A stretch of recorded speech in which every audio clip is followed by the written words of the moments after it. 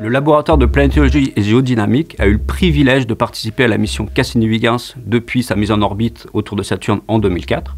Au cours de ces 13 dernières années, nous avons participé notamment à la planification des observations sur Titan, la lune principale de Saturne, qui était une des cibles privilégiées de la mission Cassini-Huygens.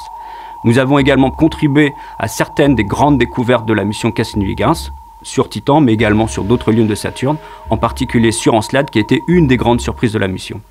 Donc aujourd'hui, en 2017, nous arrivons au terme de cette mission qui a marqué les deux dernières décennies de l'exploration spatiale. La mission Cassini a été lancée en octobre 1997. Ça veut dire qu'on a maintenant une vingtaine d'années d'opération au compteur. Et alors que la mission était prévue initialement pour une phase nominale de 4 ans, on l'a étendue deux fois jusqu'à 2017. Et donc il est maintenant temps de penser à comment on va terminer cette mission proprement. Euh, les réserves de carburant s'épuisent, il y a donc un risque que la sonde soit livrée à elle-même, qu'on ne puisse plus euh, la faire naviguer dans le système saturnien, et à partir de là, il y a un risque d'impact sur des lunes protégées par des règles internationales, et c'est ce qu'on veut éviter à tout prix.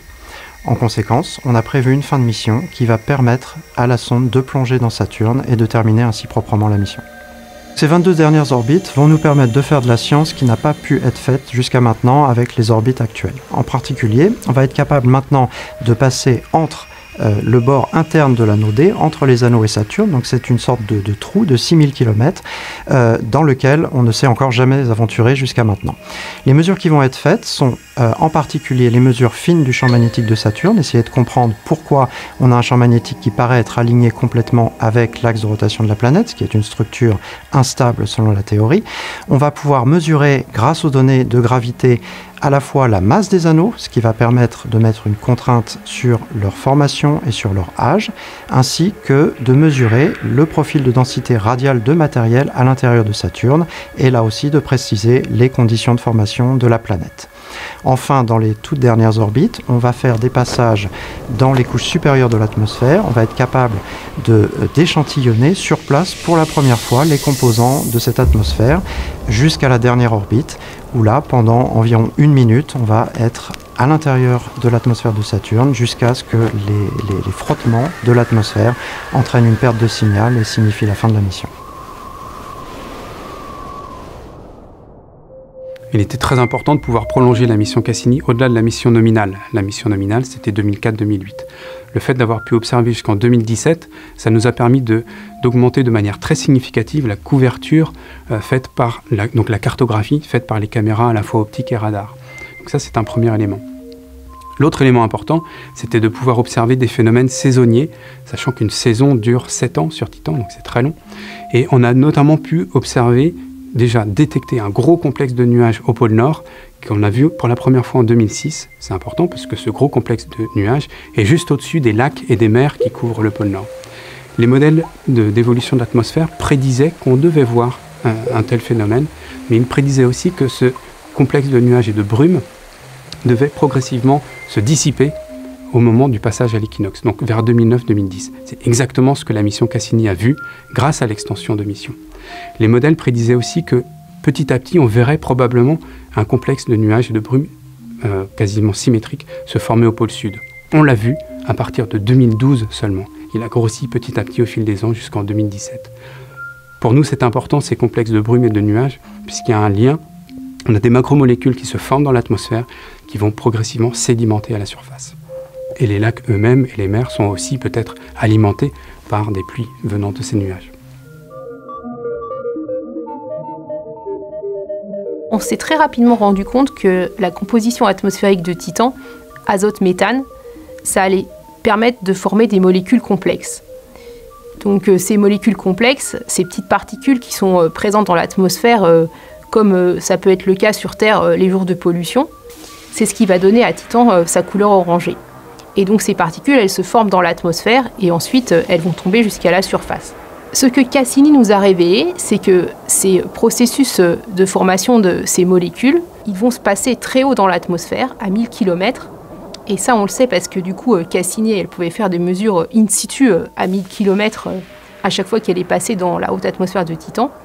Par contre, elle n'a pas pu nous révéler la composition chimique de ces molécules. Donc du coup, pour avoir accès à la composition chimique de ces molécules, on va faire des expériences au laboratoire où on reproduit l'atmosphère de Titan. Et du coup, on va pouvoir mesurer euh, vraiment euh, la composition chimique de ce qui est formé au laboratoire. Et on va pouvoir mettre en évidence la présence de molécules prébiotiques telles que les acides aminés. Par contre, euh, ben, forcément, le laboratoire, c'est pas exactement Titan. Donc on a besoin de savoir si vraiment là-bas, sur Titan, les mêmes processus vont avoir lieu. Et donc pour cela, il faut renvoyer des instruments qui seront plus performants. La mission Cassini-Huygens nous a révélé que sur Titan, nous avions toutes les molécules de base du vivant. Et elle nous a également révélé qu'il y avait probablement de l'eau liquide en profondeur, mais à plus de 50 km de profondeur, ce qui rend très peu probable les interactions entre la surface et cet océan.